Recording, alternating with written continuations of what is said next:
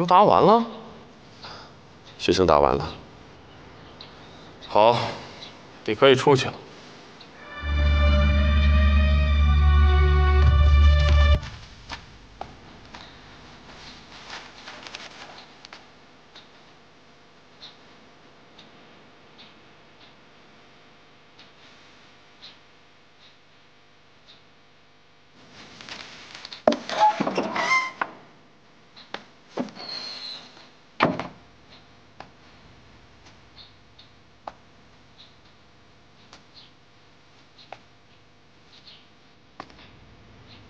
杨大人，哦，岳池大人，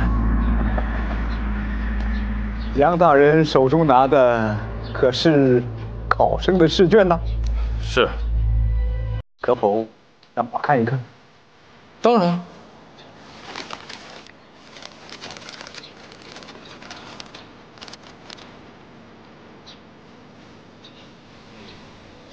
好啊，答案清楚。脉象医理完全正确，不愧是世医后代啊！我打算下几场的考试和杨大人共同监考，不知杨大人有什么异议啊？没有异议。有县史大人帮着把关，那是再好不过的事情。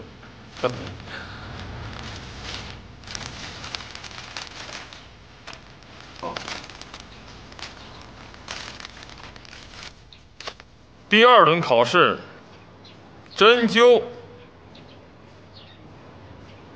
向红颜，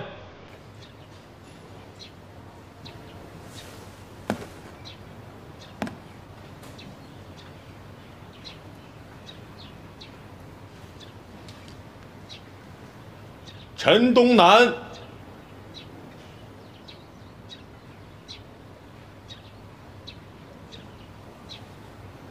吴文团，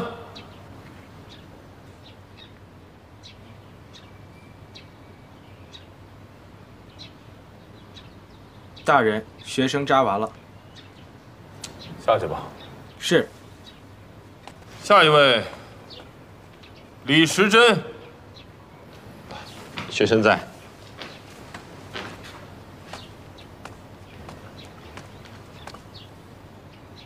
如果是脚长沙的病人，你该如何施针呢？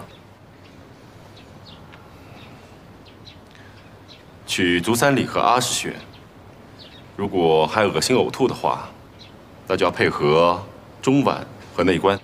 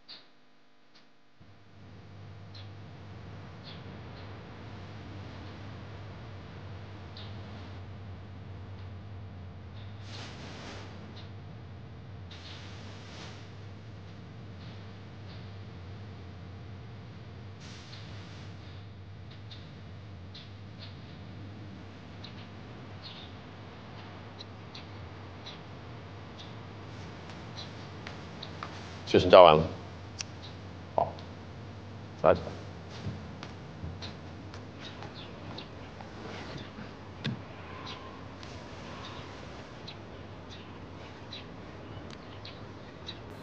此轮表现最佳的学生，李时珍。常言道：“宁依十男子，莫依一妇人。”但身为太医，往往要给后宫的娘娘们看病。只有娘娘们的身体健康了，后宫才可能会安宁。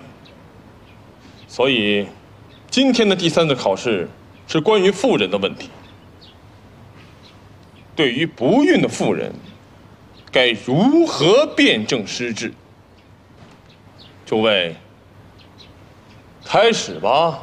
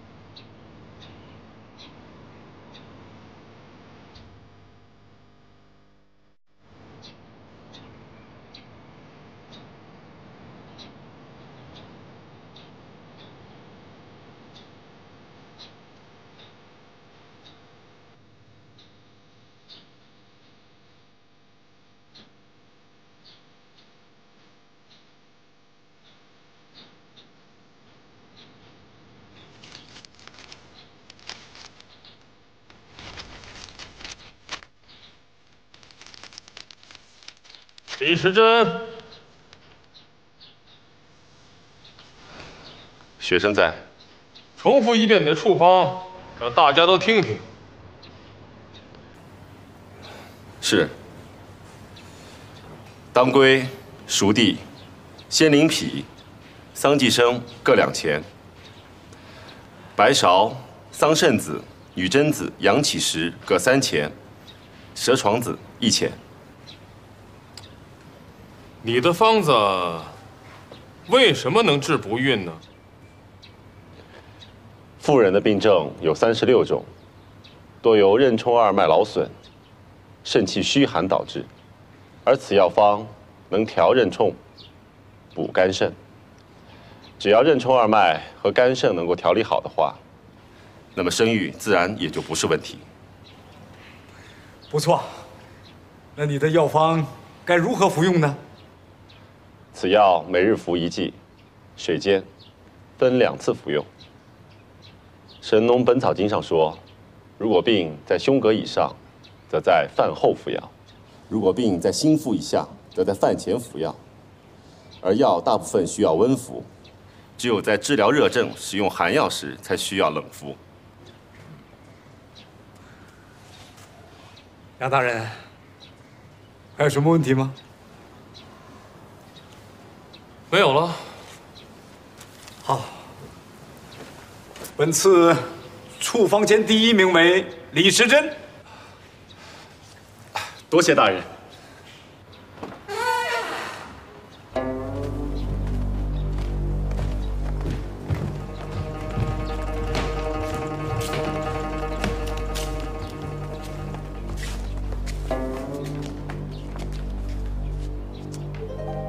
这是本次考试的第四轮，也是最后一轮考试。此次考试的题目是辨认药物，你们要将手中拿到的药材在最短的时间内说出它的名字、年份和成色。经过上两轮的筛选，就剩下你们几位了，请吧。大人，我先。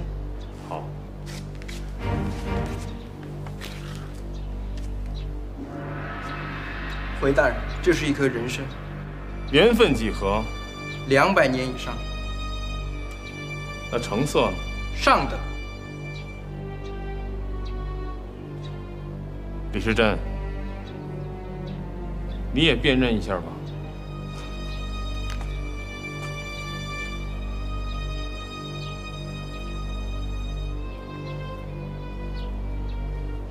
你手里拿的是什么？大人。在下手里拿的也是一颗人参，年份几何，成色又怎样？这是一个不足百年的次等人参。在下也实在纳闷，为什么这样的药材居然能出现在太医院的药库里呢？大胆李时珍，你竟敢口出狂言！你这是在藐视太医院，藐视太医院就是藐视皇上。来人，将李时珍轰出考场！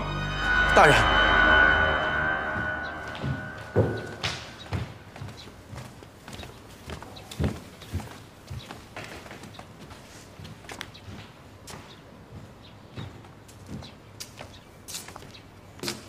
徐大人，您找我有事儿？是啊，我听说太医院里出现了劣等人参，我今天特地来找杨大人问一问。李时珍，你看看这药哪些有问题？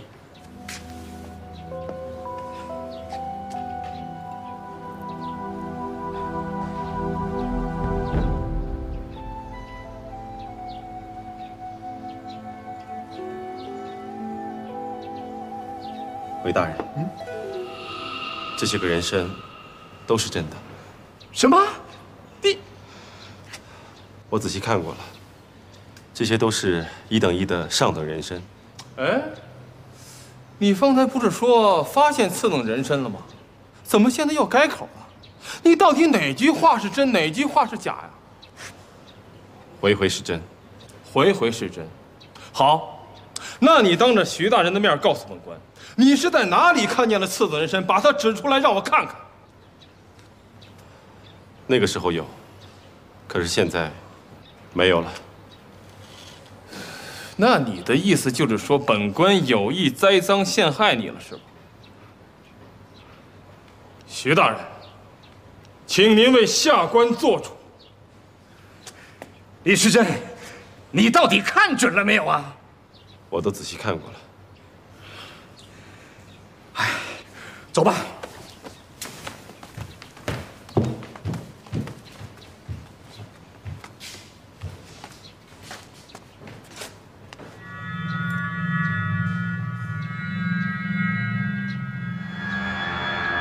什么？你们说李时珍被轰出来？我看这里面有问题。为什么？李时珍是拿着楚王的推荐信来的，他又是徐院判故交之子，而杨院判却敢不买这两个人的账，他的背后肯定另有靠山。嗯，当年李时珍状告惠民局，贪贿朝廷救治瘟疫的赈灾银两，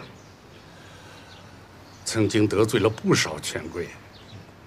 这件事一定与此有关。像李时珍这样勇敢、正直的君子，都会受到排挤，实在是我大明不幸啊！王爷，您是想帮助李时珍？我要再写一封推荐信给太医院，我倒要看一看杨院判买不买我的账。也好，多了这么一个人，我们也就多了一份对付朝廷奸党的力量。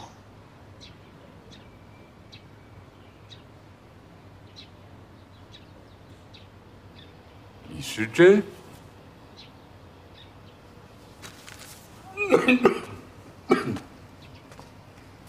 这李时珍明明榜上有名，怎么给划去了？怎么回事啊？呃回阁老，呃，李时珍太医院考试落榜，呃，但是他有楚王和誉王的推荐信，下官不敢不去。只是小阁老执意不让他入太医院，说有什么事情他来担着，所以下官只好又把他的名字给划掉了。这个严世蕃呢，去，让李时珍进太医院，做个实习医生。什么？怎么？你没有听清楚？阁老的意思是说，让李时珍进太医院做实习医生？一字不差。搬去吧。是。诸位，你们经过了层层考核，终于被录取为太医院的实习医生，真是可喜可贺呀！但是，你们在取得太医院的腰牌之前，还算不上是皇家太医。你们除了在医术上，还要继续接受考验，还要学习一些太医院的规矩和宫中的礼仪，不能有半点差池。现在，我给大家介绍一下，这就是你们的礼仪教习，杨红琴、杨院判。我就不多啰嗦了，你们开始吧。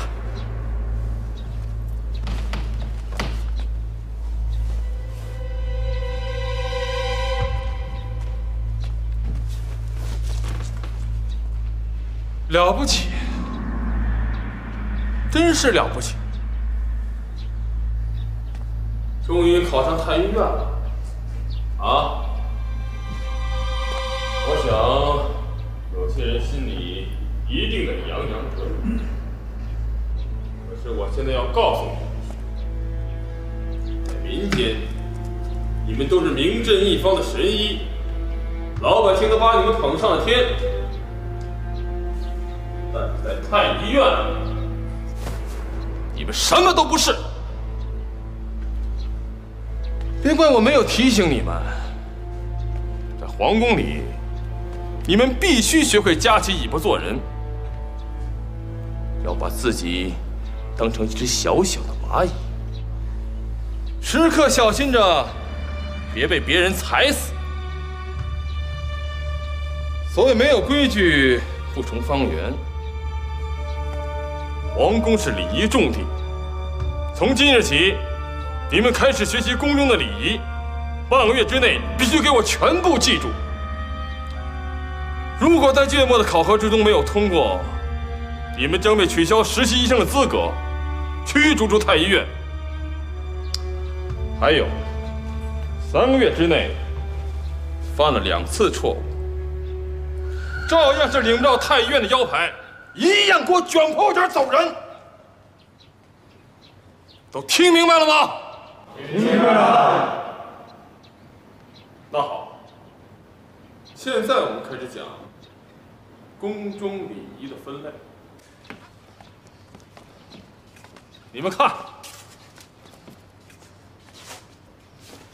这里聚集了举国上下的医药经典，应有尽有，可以说。是我国医书收藏最全的地方，啊，那边是宋代刊行的《开宝本草》和《嘉佑补助本草》，这边是金元时期的本草著作，有刘完素的《素问要注》，呃，《本草论》，还有朱丹溪的《本草演义补遗》。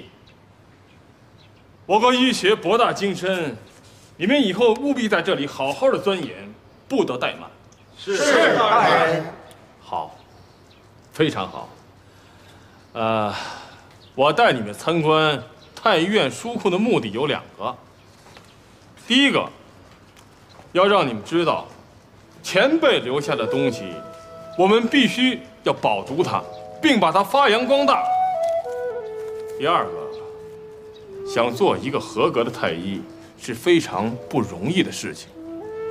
要饱览群书，仔细钻研。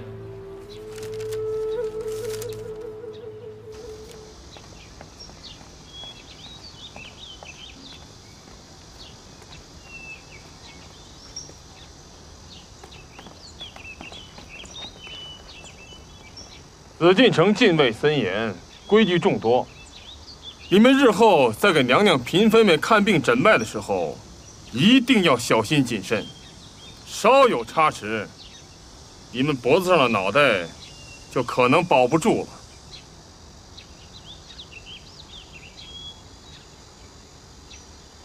皇上的寿辰快到了，为了让万岁爷高兴，整个紫禁城在月底之前都要装点一新。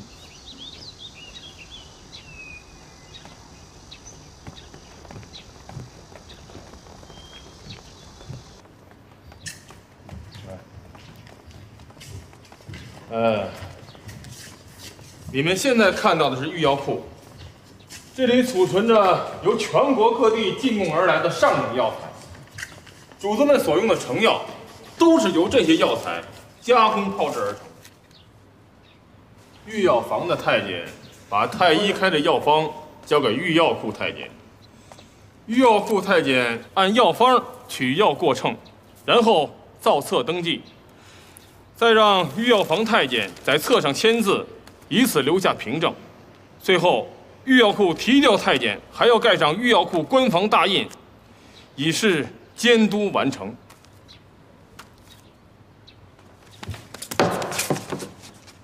这是皇上和娘娘们用的药，也是你能随便动的吗？我错了，请月满大人原谅我这次吧。原谅？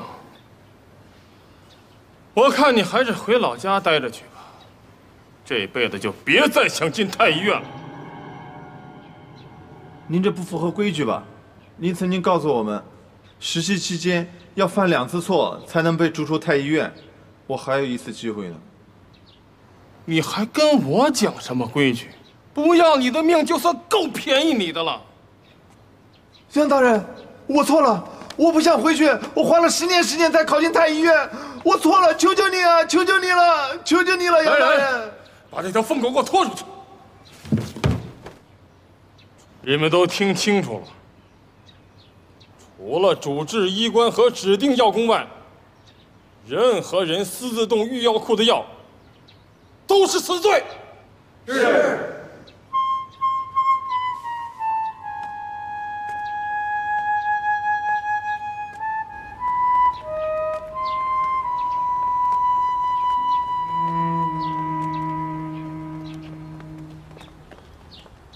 我刚进太医院的时候，正好赶上御药房改造，皇上就把御药房的名字改成了圣济殿。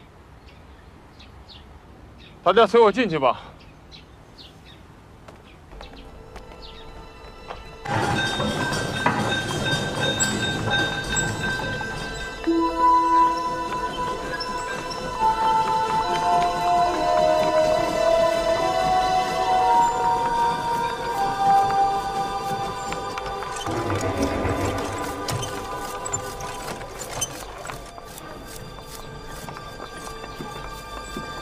记住，给主子们制药，一定要细致讲究，不得有半点疏忽。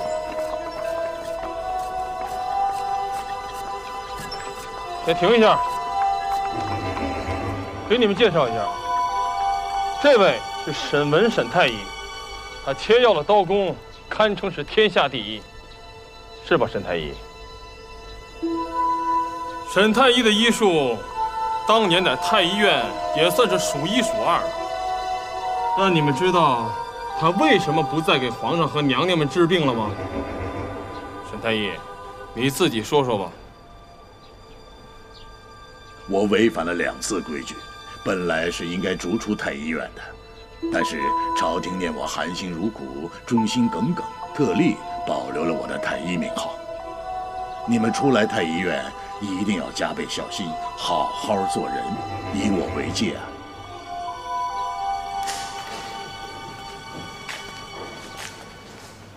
紫禁城大大小小的宫院里，都有自己的膳房。主子们有恙的时候，膳食就由主治医官啊，也就是以后的你们负责打理。这时候，你们就要按照主子的病情，备好安胎、补肾。理气活血、健脾的膳食，不能有半点的疏忽。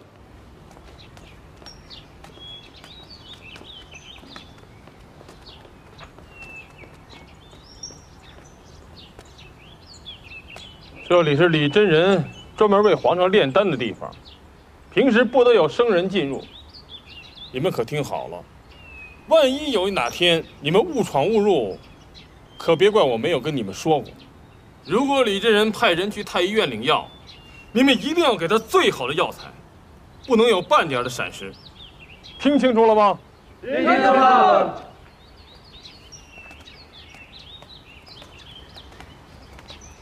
站住！你怎么回事？不知道今天是什么日子吗？偏偏在这个时候进宫。你们这么多污秽的男人！坏了圣女的洁净之气，你担当得起吗？还望仙姑想一个办法，弥补下官的过失。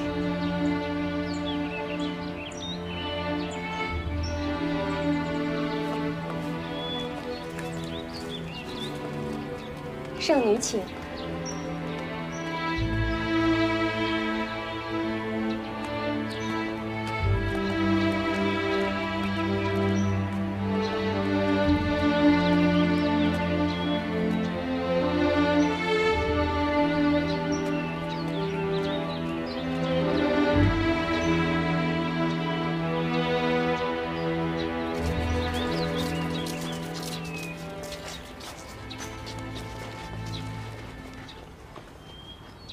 这是内书库，是皇家藏书的重地，不得随意进入。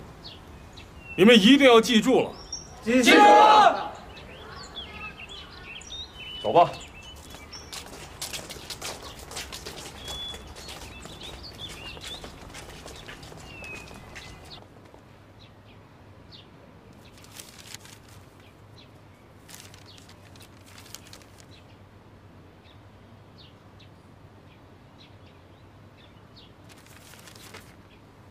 院判大人，学生有一事想请教。说。学生想到太医院的书库里借书，不知道有什么规矩需要遵守。等你领到太医院的腰牌后，再来问我吧。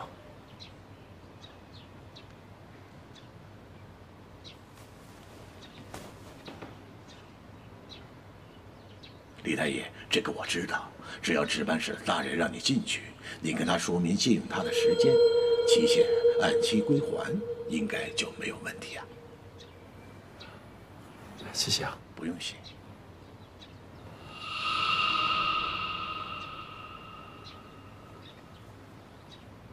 时珍呐，今天的礼仪学的怎么样了？啊，谨记在心。御膳房去了吗？去过了。御药房呢？也去了。坐吧。啊，谢大人。见到老沈了吗？见到了。有什么想法？作为一个医生，不能够为国家效力，也不能为百姓造福，白白的浪费了一生的才华。我觉得十分可惜。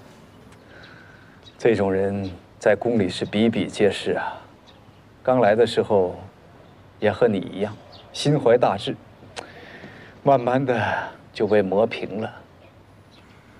宫中啊，人际关系复杂，你要处处小心，低调做人呐。时珍记住。大人，嗯，时珍想申请以后每一天都到太医院来当值。申请当值，你应该跟杨大人提出才是啊。不过这当值可是个苦差事啊。你真的想每天都来吗？真的。为什么呢？时珍只是想多一些学习的机会。我会帮你向杨大人提出的。多谢大人。那时珍就告辞了。好。哎，时珍呐，大人，希望你比你爹待得久一点呐。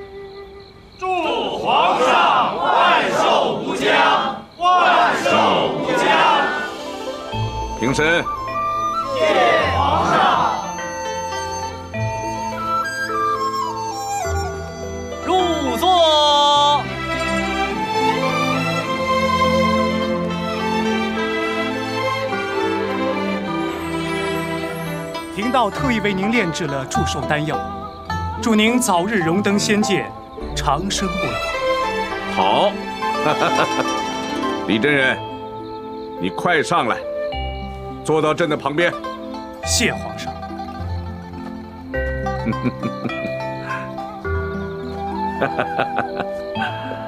嗯，放烟花。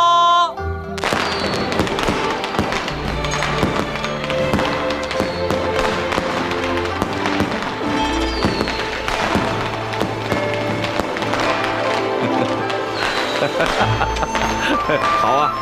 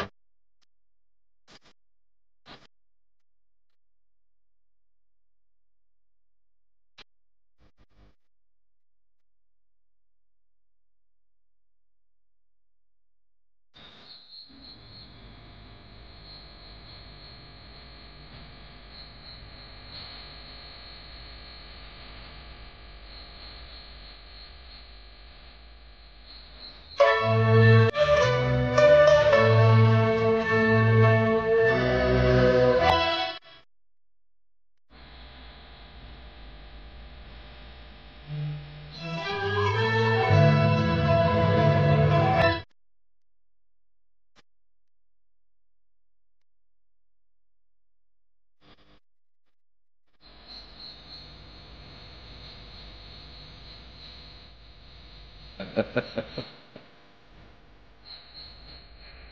哈哈哈哈！祝皇上万寿无疆。爱妃，你快过来，快到朕的身边。谢皇上。哈哈哈哈哈！哎呀，爱妃，你的舞蹈跳得越来越好。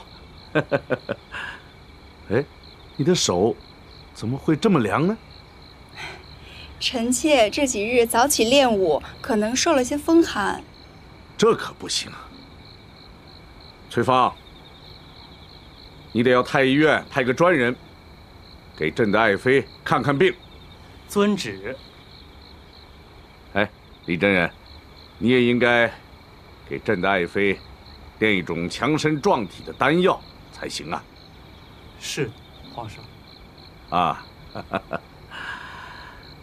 谢皇上。嗯。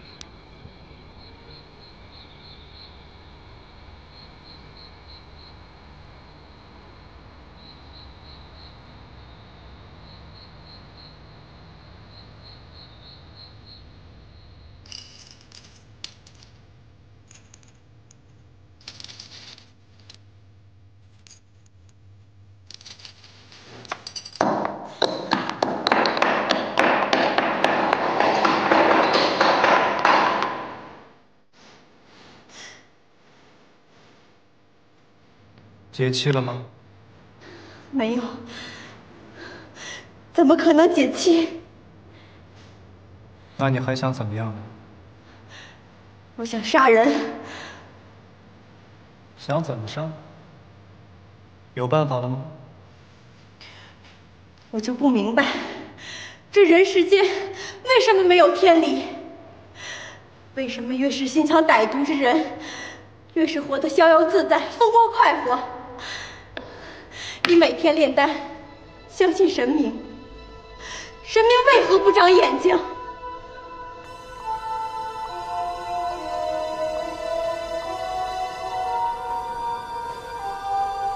神明不是不长眼睛，一旦神明动怒，惩罚起来就会惨绝人寰。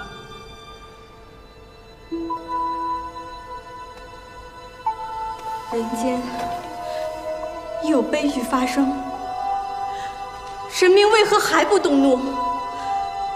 你通神明，你一定要帮我。现在皇上已经让你给惠妃炼丹，你正好替天行道，在丹药中下毒，毒死那个恶人。现在时候还未到，那到底要等到什么时候？难道你忘了，他杀死了我们的孩子？恶人必须要血债血还。我怎么会不记得？不过我不想让他死的那么痛苦，我要留着他，慢慢治。我要让他百倍偿还，让他做鬼也要为自己做人时犯下的恶习，在地狱里永生永世的忏悔。我帮你。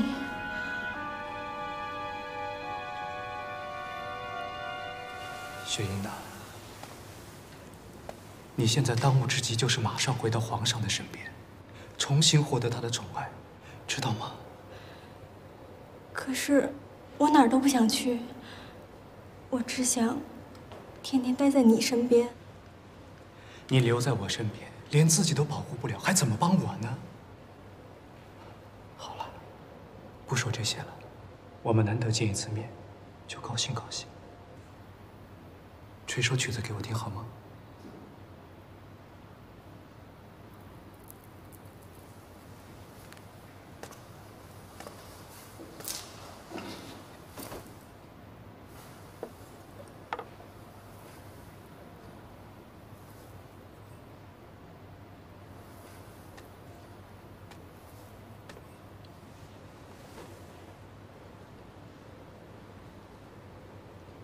你想听什么？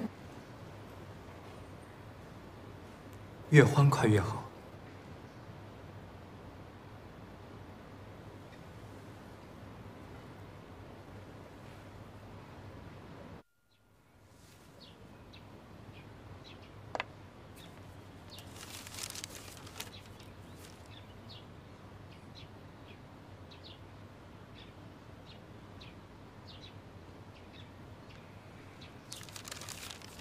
来人，更衣。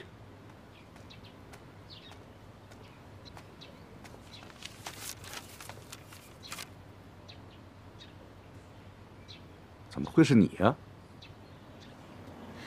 那些太监身上都有些污浊之气，连臣妾都不让他们净身，更何况皇上修道呢？难道你比他们更心诚？好，烧青瓷，你知道是怎么一回事吗？请皇上指点。连这你也不懂，你怎么配得上随朕敬天呢？烧青瓷我不懂，但我只知道为皇上祈福。师兄，请更衣吧。